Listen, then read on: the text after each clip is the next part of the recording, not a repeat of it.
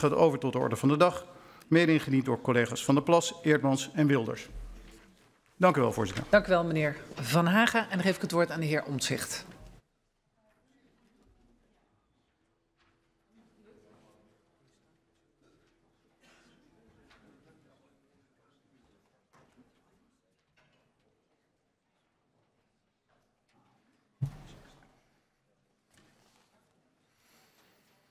Gaat gang.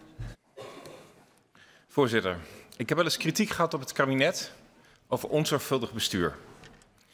Maar wat wij hier als Kamer vandaag doen, om te denken dat wij binnen twee uur besluiten kunnen nemen over de transgenderwet en behandeling van kinderen, een generaalplan over stikstof, het afschaffen van alle subsidies, subsidies, wol-uitzonderingsgronden terugbrengen, 0% belasting op eten of op erfenissen, het terugbrengen van tandarts en kunstgebied in het pakket, een asielstop, misschien de overstappers van de KLM doen, de accijnzen omlaag doen, kinderbijslag, kindgebonden budget, koning wel of niet in de formatie, het wel of niet 55.000 euro verhogen, de verkenningsfase veranderen, digitale vaardigheden veranderen, ISIS-mannen niet toelaten, slavernijverleden opnieuw onder de loep nemen, 113 suïcidepreventie opnieuw doen. En het onderwijs selectiemoment aanpassen is enigszins overmoedig.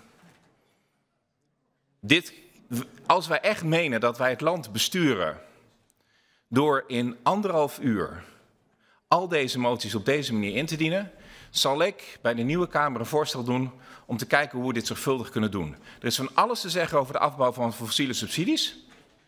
Maar als je denkt dat je dat met een motie kunt doen zonder een overleg om daar twee uur over te praten, hoe je dat wil doen, wat voor een tempo en wat dan ook, dan vind ik het gewoon onzorgvuldig. En om heel erg te zijn, ik kan het niet eens bijhouden. Vraag van de heer Klaver. Uh, ik, ik, hoor dingen waar ik het mee eens ben en waar ik het niet mee eens ben. Dus uh, de hoeveelheid moties, daar, uh, daar moeten we aan blijven werken als Kamer. Maar het is natuurlijk wel aan ons als parlement, en dat heb ik net ook al gezegd, voordat mensen denken dat wij hier binnenlopen en dan denken, nou laten we iets opschrijven, daar gaat weken denkwerk aan vooraf. En, uh, en soms al jaren dat je wensen hebt voordat, iets, uh, voordat, voordat je iets voor elkaar krijgt. Maar nu hebben wij hier een heel goed debat gehad, bijvoorbeeld over uh, het kindgebonden budget. En u maakt hier zeer terecht in uw termijn het punt over het, het, het afbouwpunt, dat we dat wat verder weg zouden moeten leggen. Dat is een van de voorstellen die wij nu doen. Ik denk dat dat heel verstandig is. Ja. Wat is uw voorstel om dat te regelen? Ja. Mijn voorstel zou zijn om dat bij het belastingplan te regelen. Je wordt een belastingplan behandeld. Daar dien je amendementen in. Dat heeft de heer Paternotte bijvoorbeeld gedaan op het gebied van de energiebelasting. Dan heb je bij het, uh, dan heb je bij het belastingplan heb je een uitvoeringstoets.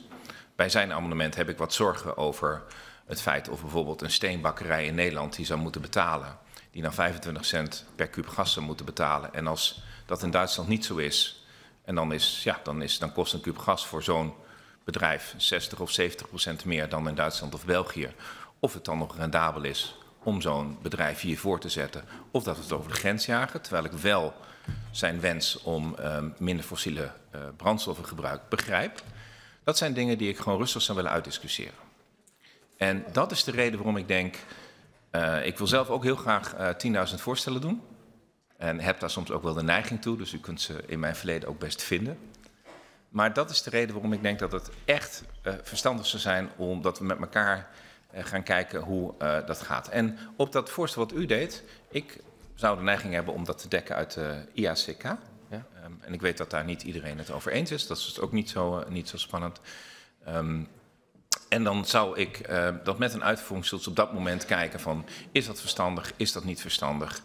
Um, de, de wijze waarop een kabinet een paar weken vergadert en uh, met veel ambtenaren kijkt van zijn bepaalde dingen uitvoerbaar, zijn ze verstandig, zijn ze niet verstandig. Soms ben ik het er ook helemaal niet mee eens, dat ziet u ook wel.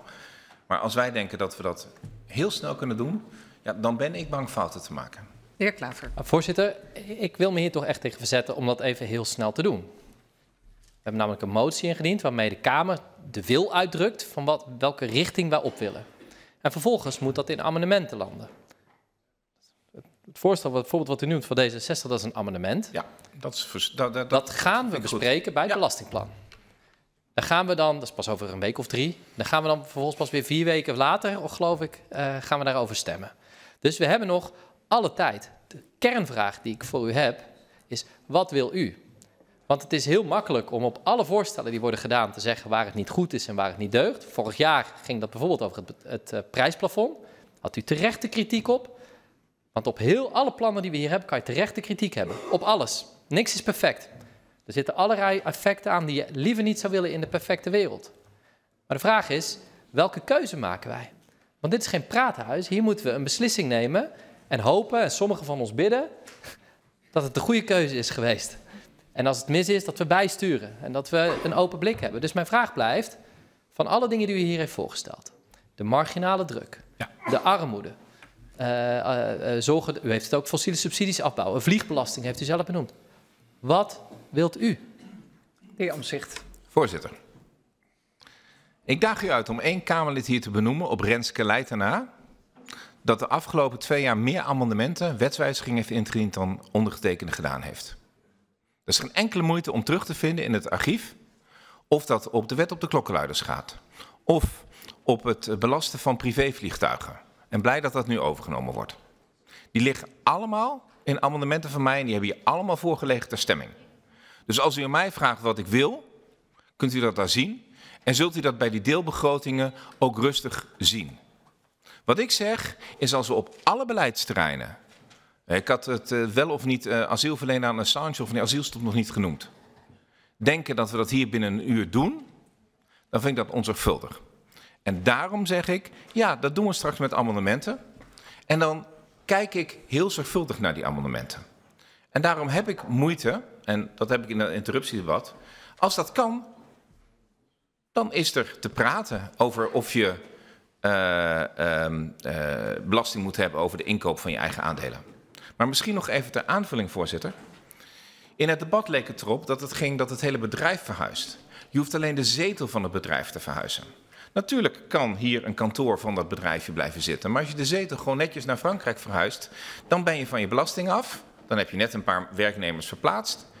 Um, dat is wel even iets om goed naar te kijken voordat je besluit hier te doen. Want voor je het weet ben je je aandelenbeurs, die we hier al een paar honderd jaar hebben en die ooit de grootste van de hele wereld was. We hebben hier aandelen uitgevonden in dit land. Ben je dan kwijt? Helder. En dat zijn de dingen waarvan ik het weet. En dat is niet een onwil om daar iets uh, op te doen.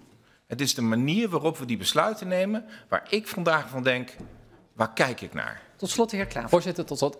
We geven de richting aan die we op willen. En bijvoorbeeld als het gaat over deze belasting, dan wordt daar nog uitgebreid over gesproken bij het belastingplan. En als er dan eventueel een fout zit of we hebben iets niet goed doordacht, dan komt dat daar allemaal aan de orde. En de heer Omzicht, hopelijk weet hij het, en anders ga ik het hem nu zeggen. Het is een van mijn meest gewaardeerde collega's. En in de afgelopen jaren heb ik onwijs fijn met hem samengewerkt. En ik hoef helemaal niet op te zoeken wat hij allemaal heeft gedaan de afgelopen jaren. Dat weet ik donders goed. En dat is ook heel veel geweest, maar daar vroeg ik niet naar. We gaan nu, gaat het over, ik vraag hem naar vraag, is de zaken die er nu aan de orde zijn gesteld. Bijvoorbeeld als het gaat over die marginale, de problemen met de marginale druk. Of de bestaanszekerheid waar de heer Omzicht het heel vaak en terecht over heeft. En het opnieuw heeft geagendeerd. Welke stappen wil je daar zetten om ervoor te zorgen dat we die bestaanszekerheid vergroten? En dat is waar de richting die ik vraag, want het is heel gemakkelijk om op alle voorstellen die worden gedaan te zeggen: eh, hier zit het mis en daar zit het fout en dit kan niet en hier zit het risico. Dat klopt. Maar aan het einde van de dag moeten wij een keuze met elkaar maken, want anders verandert er niks in dit land. Dat is het enige waar ik u op vraag. Dus ik ben nogmaals benieuwd of u daarop zou kunnen ingaan. Ja. Van alle zaken die u zelf heeft benoemd, welke voorstellen doet u zelf om ervoor te zorgen dat we die problemen oplossen? Nou, om u een voorstel te geven hoe ik dat gedaan heb, heb ik twee jaar geleden hier een motie ingediend over de Commissie Sociaal Minimum. Daar kwam een doorvrocht rapport uit. En op basis van dat doorvrochte rapport heeft het kabinet gezegd, moet er 1,2 miljard bij het kindgebonden budget. Dat zit nog dat afbouwprobleem in. Dat zou ik oplossen door de IACK. Maar dat is denk ik de manier waarop je hier problemen rustig oplost in de tijd. Daarom heb ik ook met uh, mevrouw Bikker vandaag gevraagd, kom met goed onderbouwde voorstellen hoe we private equity niet alle huisartsenpraktijken laten overnemen. Ik heb hier vandaag geen wijzigingsvoorstel op ingediend. Omdat ik denk dat dat zeer zorgvuldig moet gebeuren. En laat ik, voor, laat ik gewoon dan maar even de hand in eigen boezem steken. Ik ben hier betrokken geweest bij wetsvoorstellen de afgelopen twintig jaar. Waarvan ik denk dat ze met terugwerkende kracht te snel of te onzorgvuldig zijn ingevoerd. Ja, dat is wat er is gebeurd. En als u mij aankijkt, dan noem ik de toeslagenwetten. Die zijn hier te snel door de Kamer gegaan, zonder dat goed gekeken is, wat gebeurt er bij terugvordering, wat gebeurt er? Wetgeving kan spijkerhard uitpakken. En als je dat heel snel doet, dan maak je daarin fouten. Ik noem één voorbeeld mijn hele stomme formatie waar we zaten als CDA-fractie destijds. Hadden we, moesten we heel veel bezuinigen met de VVD.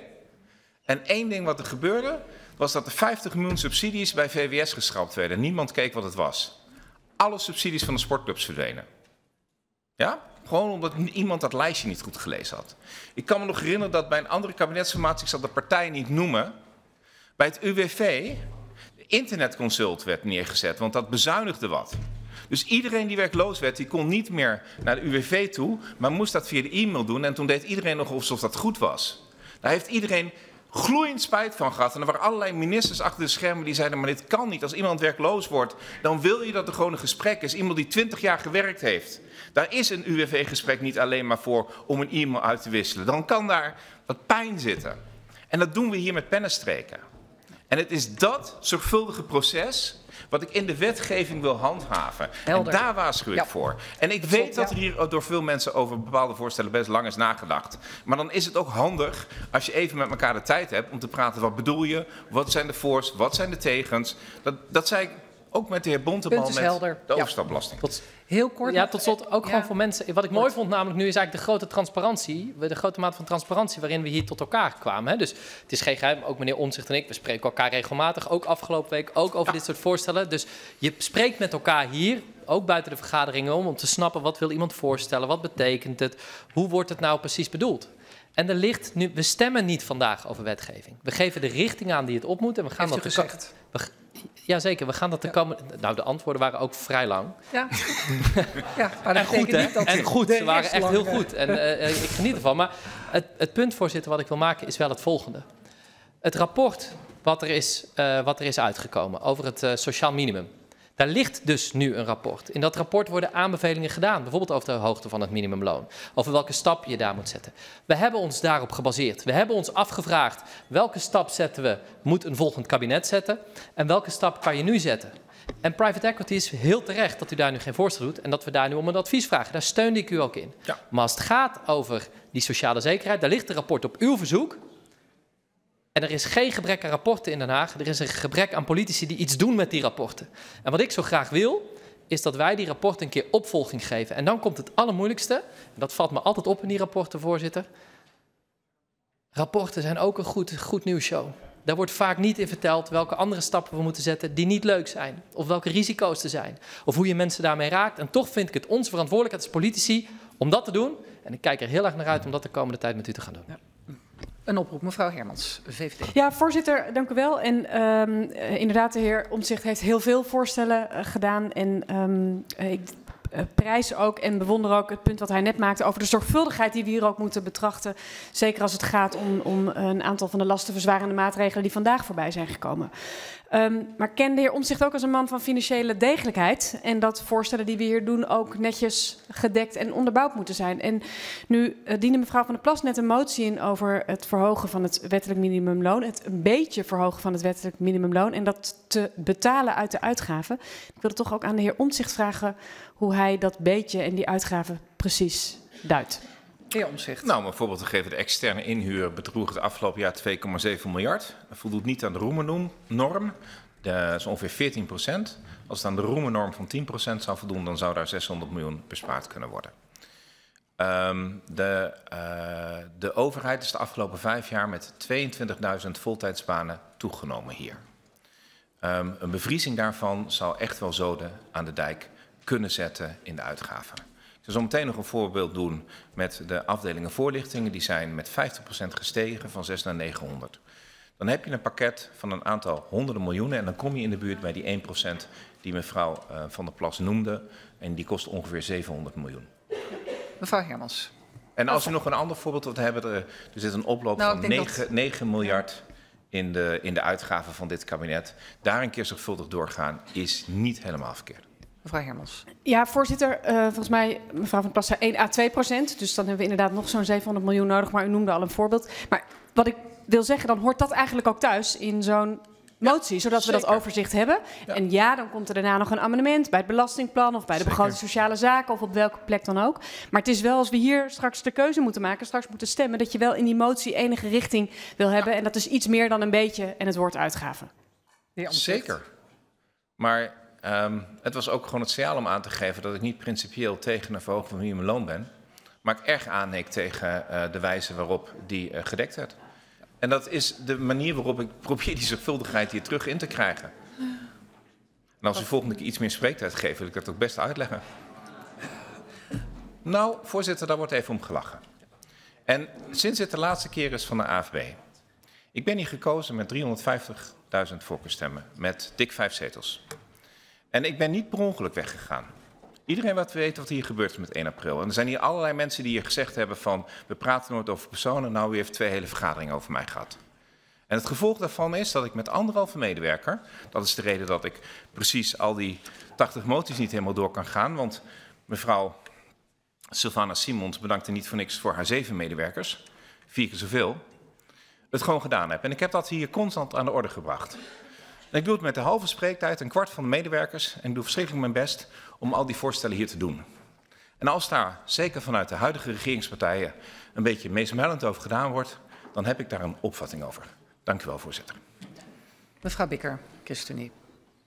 Ja, voorzitter, uh, ik heb volgens mij altijd mijn waardering uitgesproken voor het vele werk dat de heer Omtzigt doet en ook wat hij daarmee uh, aan de kaak heeft gesteld. Uh, en we trekken ook geregeld ook deze, deze algemene beschouwingen samen op. En, en, die waardering uh, is er en dat respect is er. Het was voor mij alleen wel even de zoektocht als uh, aan de ene kant wel zie dat er veel bevraagd wordt op wat de gevolgen voor de uitvoering zijn, wat de heer Omtzigt zeer terecht doet. Dat ik dan ook wel terecht vind dat we ook bij moties die u indient of mede namens de heer Omtzigt worden ingediend, ook kijken wat betekent dat voor de uitvoering. Dus bijvoorbeeld ja. als iets wordt gedekt uit het afschaffen van externe inhuur, waar ik in principe helemaal voor ben. Uh, want ik vind het heel goed dat we werk maken van een ambachtelijke overheid. Waar je investeert in vakkennis. Maar we weten ook, als we van de een of andere dag de externe inhuur zouden afschaffen. dan is de Belastingdienst omgevallen. Om maar een voorbeeld te noemen. Dus dan, eerlijk gezegd, is het, ik, ik vind het heel terecht, het punt wat de heer Omtzigt maakt. Bedenk wat je doet. Daarom heb ik ook weken gestoken in de voorbereiding van deze dingen. Daarom rekenen we ons verkiezingsprogramma door, zodat we weten dat de dingen kloppen en wat de effecten zijn.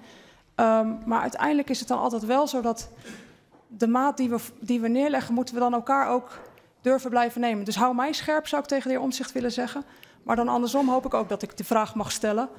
Hoe gaat u het dekken? En nou ja, op dat punt van die uh, wet minimumloon. Als we het omhoog willen doen, zal dat met een keuze zijn die ergens een beetje pijn doet. En dat moet je ja. kunnen wegen. Dus ik kijk erg uit naar de uitwerking van de motie die dan bij de AFB of het belastingplan uh, zal volgen. De heer Omtzigt. En voorzitter, um, ik heb niet gezegd dat er geen externe inhuur meer plaatsvindt. Ik heb gezegd dat er externe inhuur plaatsvindt volgens de norm, volgens de maximumnorm die de Kamer heeft aangegeven. En alleen al naar die maximumnorm toe gaan, natuurlijk moet er af en toe ICT-capaciteit ingehuurd worden. Niet alleen bij de Belastingdienst overigens, er zijn wel wat andere ministeries die dat moeten inhuren.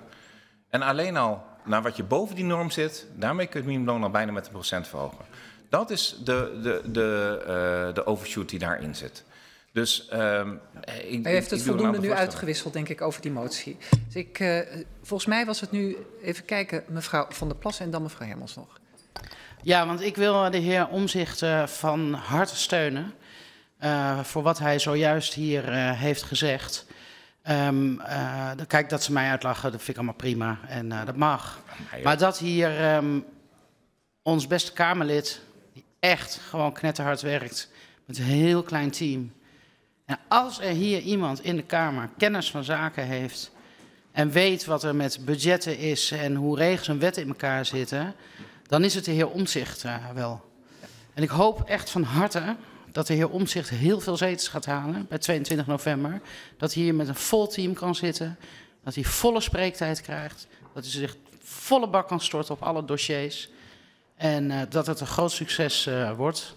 En ik kan u nu al vertellen, ik zie er naar uit om heel erg goed met de heer Omzicht te gaan samenwerken. Dank u. Mevrouw Hermans, VVD.